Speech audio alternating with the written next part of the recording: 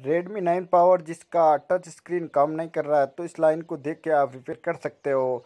और मैं बता दूँ फ्रेंड आपने यदि हमारे चैनल सब्सक्राइब नहीं किया तो सब्सक्राइब कर लें और बेल आइकन को ज़रूर दबा दें, ताकि आने वाला हर वीडियो का नोटिफिकेशन आपको मिलता रहेंगे।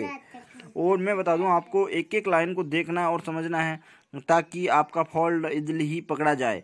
इस लाइन में जीआर को चेक करना है, वोल्टेज को चेक करना है, वन पॉइंट एट की सप्लाई को चेक करना है। यदि फिर भी ये सप्लाई में कुछ मिस्टेक हैं तो सीपीयू को भी रिवॉल्व करना होता है, क्योंकि टच की जितनी भी लाइन होती हैं, वो ज़्यादातर सीपीयू से ही आता है।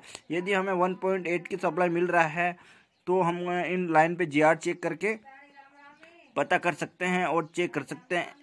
कि इसमें कहाँ पे मेरा फॉल्ट है और कहाँ पे नहीं है। तो फ्रेंड मैं आशा करता हूँ कि ये वीडियो आपके लिए बहुत ही हेल्पफुल होने वाला है।